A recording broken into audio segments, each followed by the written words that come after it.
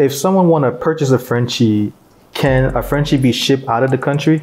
Yes, yes. So you could uh, buy a dog from out the country. Like you could buy a dog from the UK if you live in the US. You know, get in contact with the breeder. Uh, ship. You might have to travel over there.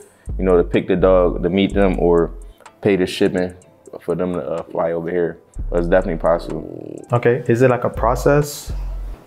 Like um like a step by step process? Um, as far as you just get in contact with the breeder, and then you know y'all communicate on how you know you like to go rearrange picking up the dog. What type of Frenchies are out there? So man, it's a bunch of Frenchies. So for example, right, Astro, he's a cream.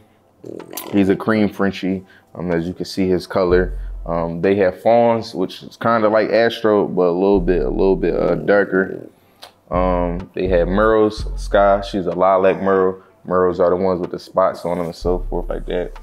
They have blue Frenchies, which are the gray ones. You have a, um, you can have a, a tri, a blue tri, which is like a blue Frenchie with like white paws and white patches. It's a lot. Then you got the fluffies right now. The fluff, the fluffy is the most expensive Frenchie right now. That's like a, a Frenchie with like but like a like a little koala bear, look like little bears. So